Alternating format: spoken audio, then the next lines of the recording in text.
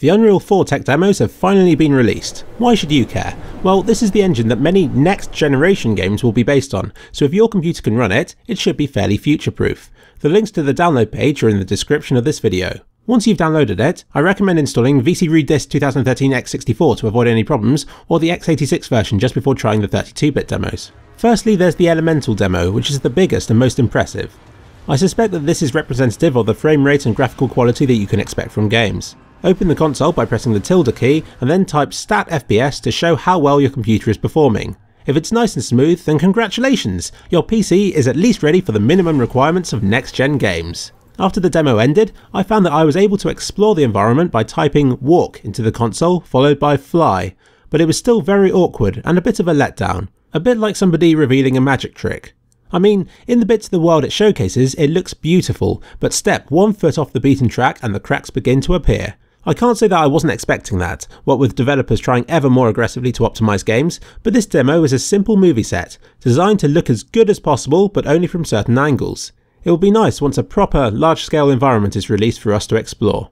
I can't say that any of the textures or models jumped out as being impressively high detailed, though the shaders on the ice are pretty and it's definitely got a very artistic, unreal feel to it. The bloom is almost blinding, out in the snow, I began to feel very uncomfortable and quite frustrated by the amount of shine on the screen. I had an equally disappointing first impression with Unreal Tournament 3, since all of these effects also act as cheap ways of disguising shoddy background detail. Interestingly, the screen capture for this demo was called Elemental War of Magic, which also happens to be the name of a game released in 2010. But let's move on to other demos which are better equipped to handle free walk mode. Effects Cave is the second tech demo, this one's interesting since it lets you view the engine at different quality levels, ranging from a blocky version of PlayStation 3 graphics to uh, Unreal 4 quality. The whole thing reminded me a bit of Counter-Strike Source's tech demo, only obviously a bit more advanced. There are some pretty water ripples, a fair few fog and fire effects, and some marvellous sound effects as you walk about the place. As usual, I managed to get stuck in a few pits, but typing restart level in the console teleported me back to the starting area. I really like this demo, it shows a lot of different things and once again I was able to glitch out of the level and see how it was done. I'm going to keep talking for a couple more seconds just because there's so much cool stuff to be seen in this demo. It makes me wonder if these assets were made solely for these demos, or if they're being added to the new Unreal Tournament that should be coming out soon. Realistic rendering shows how close to ray traced quality lighting and reflections the Unreal 4 engine can get.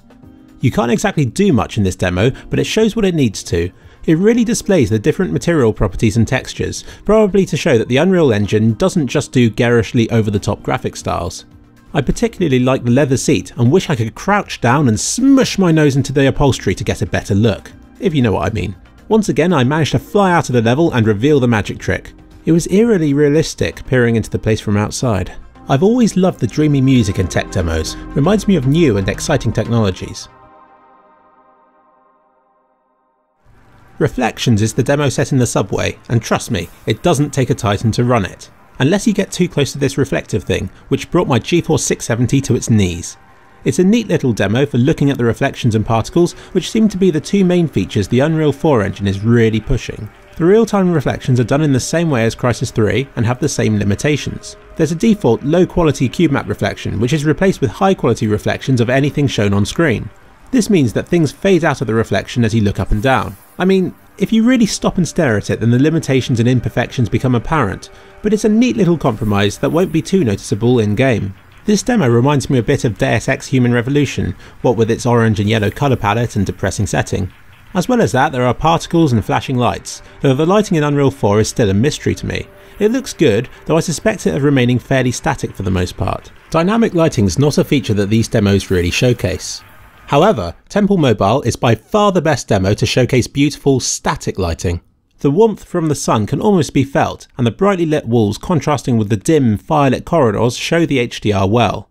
The tiled floor and contrasted lighting make it easy to see the reflections that I was talking about earlier.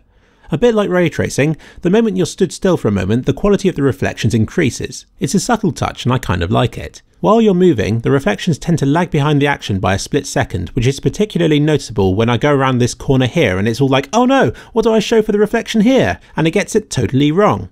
If this demo can be played on mobile devices, then the future is indeed very bright.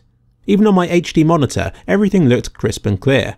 The background cliffs are more on par with the old source levels, but it doesn't really matter too much on the grand scale of things.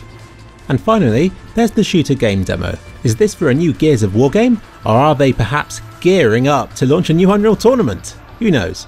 There are two levels to choose from. One's a futuristic tower in a place that looks like it's been ripped straight from Upper Hengsha in Deus Ex Human Revolution, only this time it's rendered in 3D. And hasn't been peed on.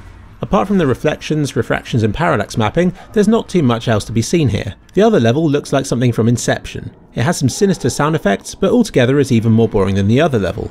It doesn't show off the new engine as much as complex, messy levels would, but it's great for multiplayer shooters where you don't want distracting stuff in the way. In fact, it's almost like the original Unreal Tournament, but pretty. Where are they going with this, I wonder? Hmm.